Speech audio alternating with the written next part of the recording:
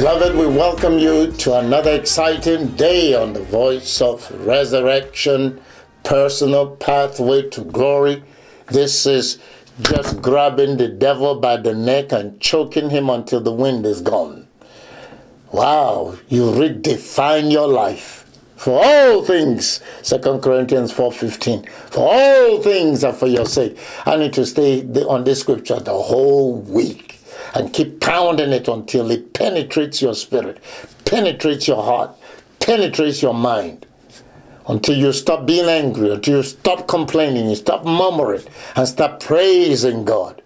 That all things, even things that injured you, they are for your sake. Glory to God. That the abundant grace might, through the thanksgiving of many, redound to the glory of God.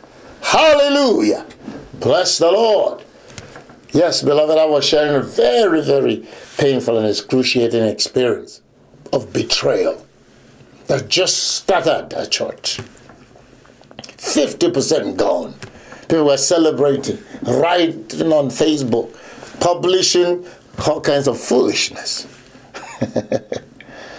Beloved, I said I went to meetings and I took the wrong, which is my covenant. And do you know that the blessing of God just took a hold of the church and catapulted us to realms of glory? What happened to Resurrection House for All Nations should happen to you personally. You will stop murmuring, complaining, talking to people and trying to get them on your side.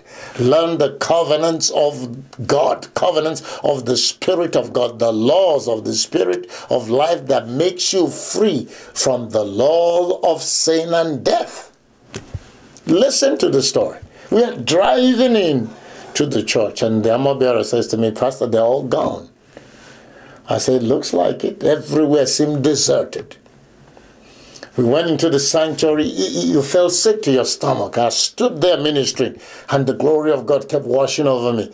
And I started celebrating the goodness of God. That even though friends deserted and people deserted, but God had not left me. And I had a tremendous service. I preached the house down by the Holy Ghost. And at the end of the service, I was, there was nobody to see me. I was out in the lobby. and we were just talking and fraternizing with the friends that were hanging with me. And, and then finally, I mean, we were there a long time. Finally, my minister came with the financial tally for the day. I said to him, come on, please. because the sanctuary was empty. Huh? I was thinking maybe we need to go to a combined service and stop having two services. was, I think, I don't even know that we were 50 people in the first service, you know. And uh, I told him, please don't, don't, don't, don't steal my joy. I don't want to see these financial numbers today. I've had a great time in service, and I don't want my joy gone. He said, okay, well, why don't you just look at it? I said, no, I don't want to look at it. Please, leave me alone. So I kept talking to the people. He just stood there. And then finally I left the people and went somewhere else. He followed me. I, be, I started getting irritated. You know, that other anointing that's really gone from me. But sometimes it tries to kick back in. I have to fight it off. And um, he kept insisting that I look at this thing. And I finally said, man, please. I, I, I got short with him. And then he yelled back, wow. he said, Pastor, look at it. I said, Oh, okay. and I took the piece of paper and I looked at it. I said, No, you got to be kidding me. Is this a joke? He says, No, that's why I'm insisting that you look at it. Beloved, can you believe it? The money was exactly the same as when all the people were there. He said one person even get $4,000 or something like that by themselves. Wow, I revived. Hey, yeah, yeah, Kote Mahasha. God hasn't left, Do, both by the anointing and by the finances. Beloved, it was, I don't know how long it's been. Just sent people that love us, sent people that are now my sons church has no strife. I mean, every now and then you get a little bitty stuff here and there, but I mean, peace everywhere. the love of God flowing, the glory moving. All things are for your sake. And now we've doubled the numbers. You should hear the choir now. Woo! I'm not talking about choir. Hear the music department. Hear the musicians.